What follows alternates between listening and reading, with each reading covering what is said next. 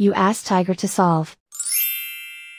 This deals with linear equations with one unknown. The final result is n equals 10. Let's solve it step by step.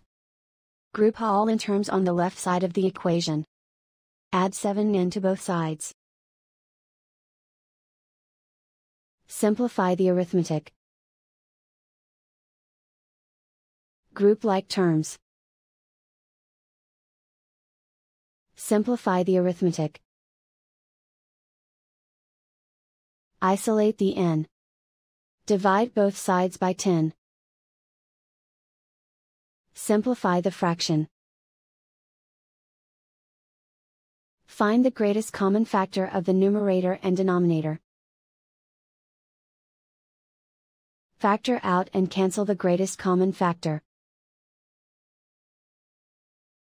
And so the final result is n equals 10.